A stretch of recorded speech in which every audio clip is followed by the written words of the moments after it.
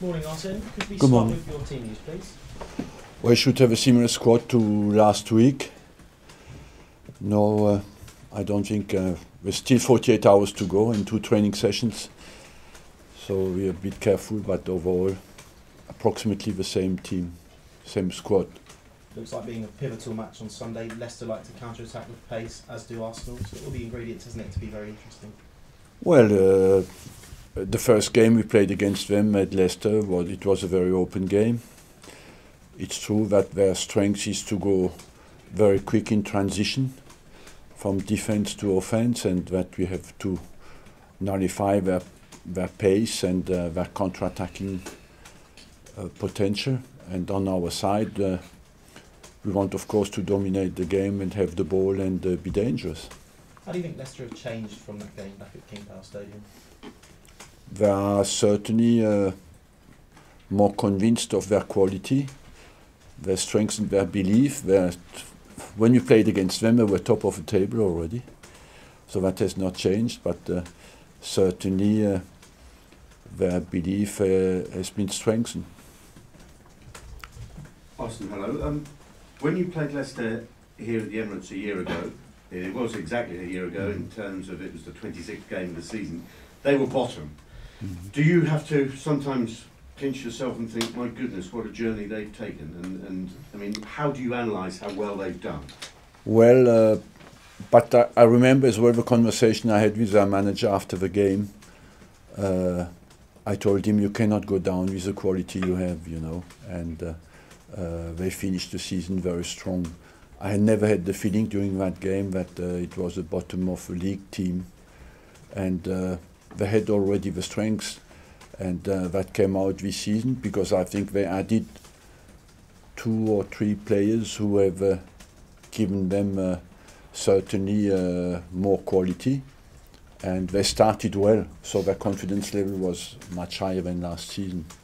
Talking of confidence levels, is your team now back to, to the level you'd hope it would be after that win against Bournemouth? Has that got everybody going again? Yeah, we didn't win for a while, so of course it was a bit of uh, belief. Uh, the pressure on the team is a bit stronger, and it was very important for us to win on Sunday at Bournemouth. What uh, we did, and I think we are back to normal level. How pivotal is this game, and how pivotal is this weekend in terms of the title race? How much I don't know, but uh, you don't need to be a super mathematician to analyze that uh, it is a very uh, important game. Maybe not a decisive one for the for the Premiership, but uh, uh, it's not far away from that.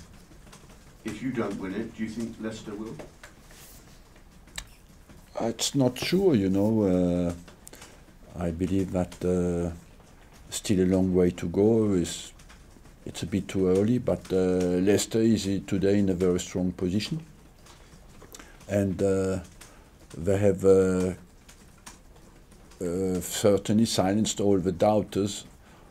Uh, since the start of the season, everybody thought that Christmas will not be there anymore. We are now nearly Easter, and they are still there.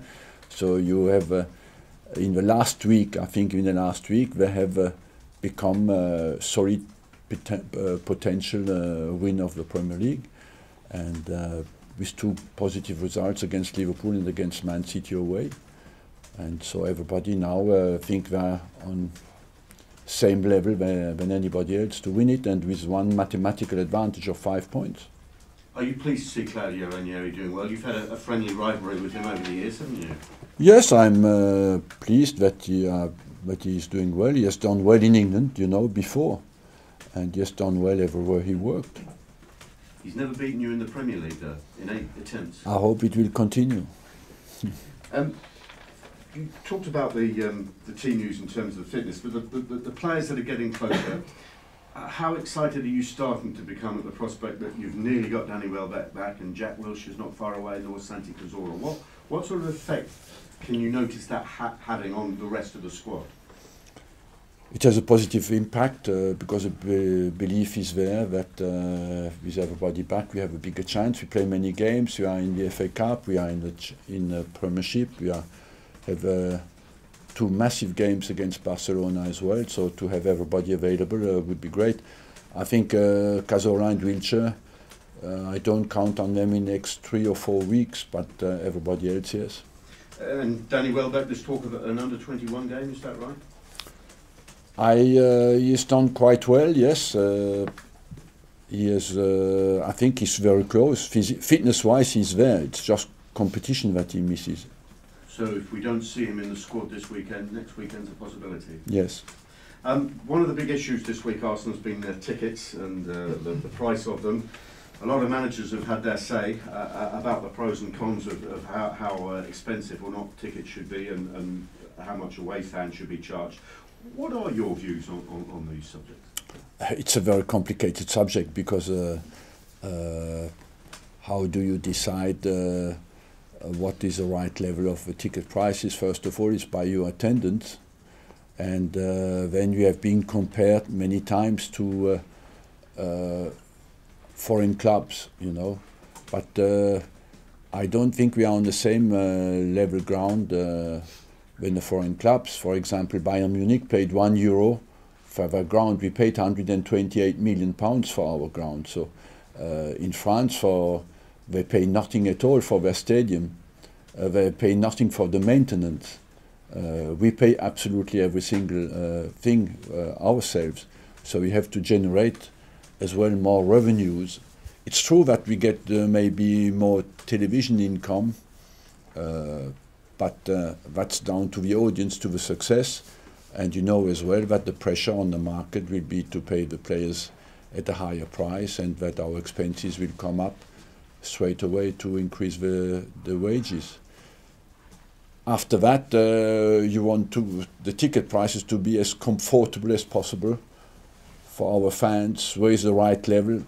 I'm not. Uh, I looked a little bit at the comparisons our cheapest price is uh, uh, cheaper than anywhere else in London. Our most expensive price is a fraction higher uh, than the other clubs in London, but our most common pri ticket price is lower than in many places in England. So I don't think uh, that uh, we have a massive problem on that front. Is there a compelling case, though, for putting a cap on how much away fans should be charged at, at grounds, given how key they are to maintaining the, the good atmospheres that's such a part of the Premier League? Yes, you have to find a compromise where everybody's happy and where the away fans need to be there, you know, and uh, uh, we do our, our, absolutely our maximum to to help away fans to do that. We'll uh, we look at it at the moment. We have specialized people who look at it, and uh, we want our the away fans to attend our games, of course. Arsene, uh, momentum at this stage of the season is so important. Clearly, a, a, win for you on Sunday would be great, but how important would it be to deflate them a little bit? We have more to look at ourselves. You know what is important for us is, uh, as you said, to find the momentum back, and uh, that means uh, that we win, you win a few games, and uh, after let's let's not count too much on the weakness of Leicester because they've not shown too many, and uh, we have beaten them five two at Leicester, but the week after we went away from home and won the game. So let's not uh, speculate on any weakness of Leicester. We we want to find. consistency in our results until the end of the season because we have a big game after big game now. A lot of people have been saying they have only 13 games left in their mm-hmm. season. They're out of all the other competitions. Uh, and that that's going to be a big advantage. But could it be a disadvantage if one or two things don't go quite right in the next couple of weeks? They've got more time to think in between games. Yes, uh, time to think can be a disadvantage if you don't uh, use your thinking in a positive way. And uh, the pressure is on. And it's true that uh, sometimes the less time you have to wait for the next game, the better it is. Who poses the bigger threat, Vardy or Mahrez?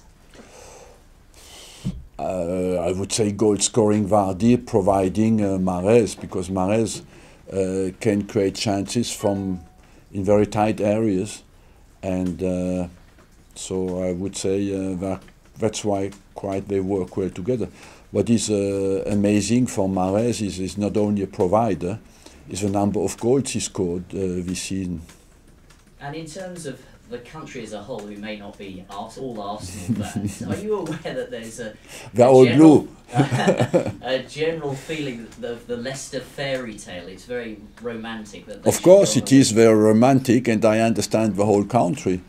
Uh, I said that last week in a press conference. Uh, that's uh, human, and uh, I think it's as well good for football to show that. Uh, and it goes uh, against as well a little bit the demand of uh, of uh, usual practice in our game. It's spent uh, by big stars, and uh, it's important as well to know that with quality work and uh, quality scouting and quality uh, management, uh, you can have great results. Arsenal be the first time that Leicester walk out in a Premier League game as the, as perceived by the world, it appears, as favourites. Is that an opportunity to unnerve them early? I don't know. I believe still uh, they're in a position where they think uh, what they have, where they are, they have nothing to lose. But uh, once you're top of the league, you can have as well think now uh, you can lose wh- what you have, and uh, that's where the nerves come in a little bit. It's possible. I don't know how they will respond to that.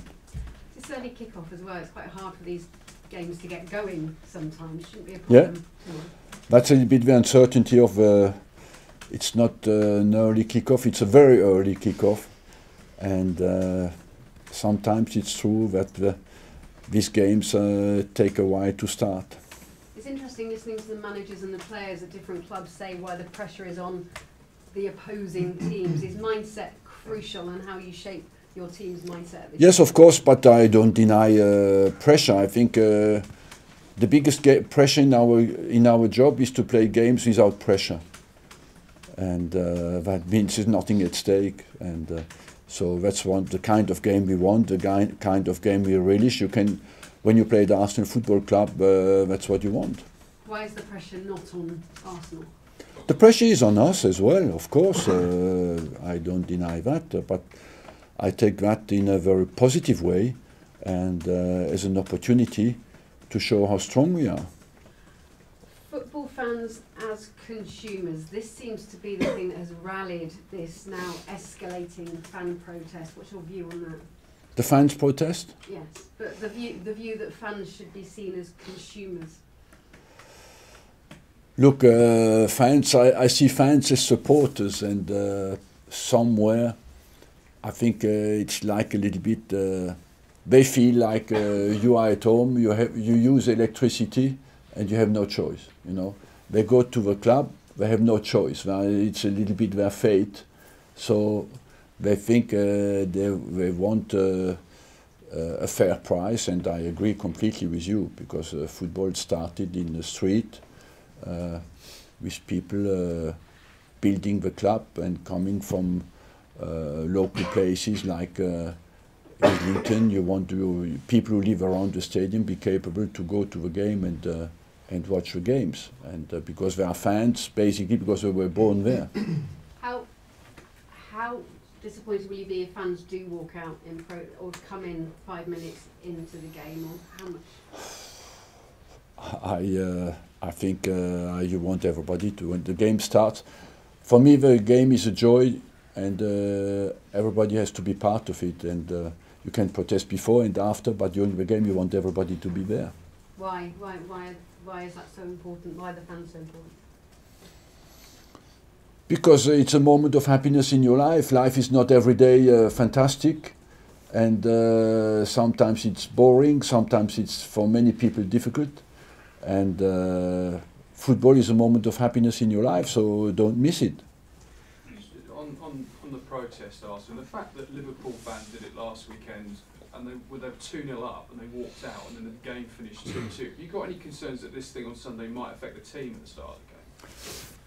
I uh, don't think so, uh, but uh, I wouldn't like uh, to use that as an excuse, you know. Uh, I think uh, the players, once they're on the pitch, they focus uh, on their job and they don't really see. Uh, when you play football, sometimes I didn't even know that it rained or not uh, uh, during the game, you know. You're so much in the game uh, that you do not focus too much on what's happening in the stands. Um, There's obviously been a lot of talk about how well Leicester have done, but you, you know, you, you put five goals past them earlier in the season. Do you think that result has had the respect that it deserves, given how well Leicester have done since? Well, at the time, everybody thought that's normal, uh, with, uh, you know, and uh, today, maybe with the distance, you see that it, uh, it was quite a great game from our side. Yeah, you mentioned Riyad Mahrez as well. Was he a player you ever looked at when he was in France? I uh, didn't know him, honestly, played in uh, second division in France. So uh, they did extremely well, and he has developed very well. And uh, today he's uh, one of the dominant players in the Premier League. And just finally for me, um, Per Mertesacker has not played the last couple of games. Mm-hmm. Has that been because you've had concerns about the pace, the opposition attack with Fodi and Shane Long? And will that be the same on Sunday with Jamie Vardy? Well, it's difficult for me to go into a, any individual assessment. I think he has played many games. I think uh, sometimes uh, I use a different formula. Per Mertesacker is a great leader, a very respected one in our dressing room. And uh, but I have three centre backs, and uh, I adapt a little bit to their level of form, to their, uh, to the number of games they played, as well as you said, to the opponent we play against. What is their strengths and uh, where can they hurt us? Last one, Paul. Arsene, it's been a month since Olivier Giroud scored. Have you got any concerns about his form? Not so much uh, because on, for me uh, on Sunday he gave a ball to uh, Mesut Özil on the first uh, goal. You know, assist or goal for me it's exactly the same for a striker.